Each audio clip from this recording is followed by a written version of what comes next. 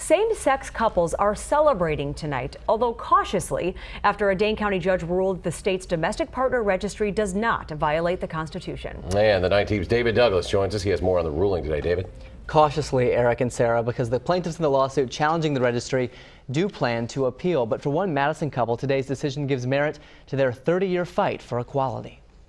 The recognition for couples like like us um, is huge. In the ocean or on the beach, for three decades, Crystal Hyslop and Jenna Sizon have tackled every adventure together. Right down to the lawsuit challenging the domestic partner registry they were named as defendants in. Become very obvious to us that there's a long road ahead of us to, for full equality. But for now, they're one step closer. In his ruling, Dane County Judge Daniel Moeser said in order to violate the state's marriage amendment, the domestic partner registry would have to be, quote, substantially similar to marriage. He said it wasn't.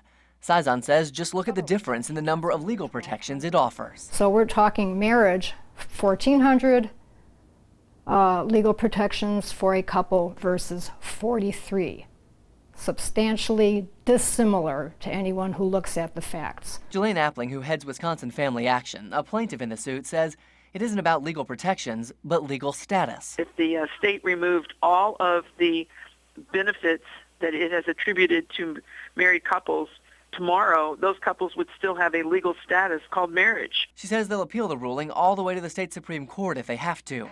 As the first couple to sign up for the domestic partner registry in Dane County, Hyslop and Sizon are prepared for that.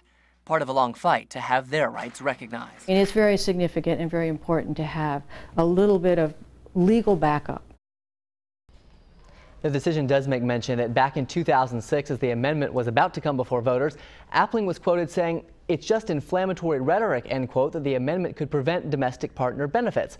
Asked about that tonight, she told me by phone at the time she could not imagine a construct that would allow for a registry such as the one that exists today.